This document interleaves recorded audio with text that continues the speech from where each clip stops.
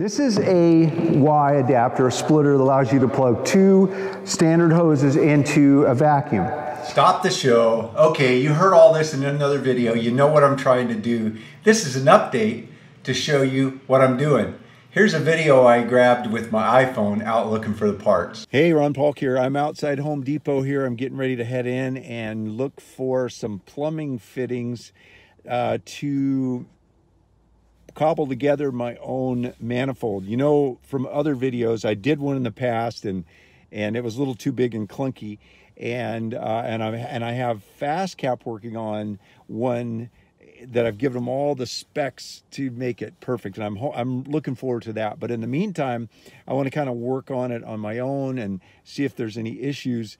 And so I'm going to try to get um, a double Y and uh, see if I can grind it or heat it or something and make it the size I need, perfect things, and then pass that information on to FastCap so they can use it in their design. One of the things that I've done though is this is the blast gates that I'm going to use three of these. These are heavy metal, aluminum, and I've always used the cheap plastic ones, which are about four or five dollars a piece. But you know how they are. They they're fine. They work great, but then they get a little sawdust in the uh, you know in the grooves, and then you force the the the gate closed, and it kind of splits them apart. Then they're not worth fixing, so you get new ones. So I've always avoided these because they're quite a bit more expensive, three to four times as much, and uh, you know, but well made. Probably should have got them all along. They're screwed together, and you know, again, they're aluminum, um, and they even have a a little. Um, knob that you can lock the gate or put some friction on it.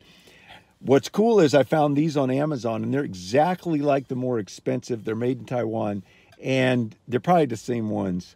And um, anyway, I got them for under $8 a piece. So I got three of these and now I'm going to take this into Home Depot and try to get uh, you know, plumbing figures as close as I can that I can then manipulate in the shop. And I'll get two. So what I'll do is I will take my time, figure it all out in the shop, make it work, and then I'll take the second one and I'll videotape that and because I already know what I'm doing then, and I'll I'll show exactly how to make them. So those that don't want to wait for FastCap to um, make theirs, you'll be hopefully haven't done it yet. If i if i'm successful i'll show you how to make your own. And then also these um, blast gates i'll i'll put them in um, my amazon store ron's amazon store which there's a, a link for at the bottom in this video. In fact i'm going to have chris go over and create a new tab uh, you know because i've got wearables and and saws and different tabs but I'm going to have a tab made up that's on dust collection.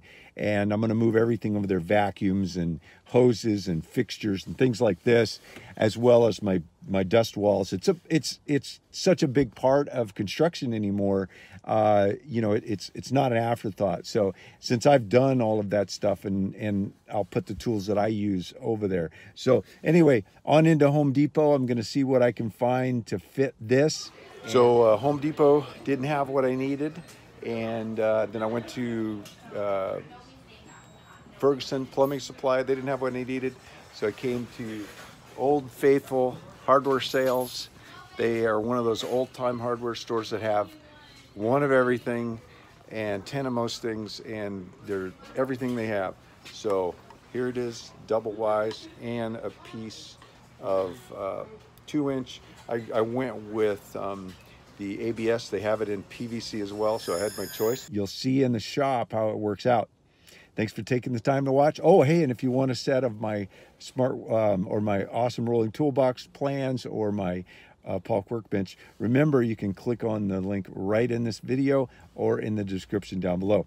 Hey, thanks for taking the time to watch. Have a great day.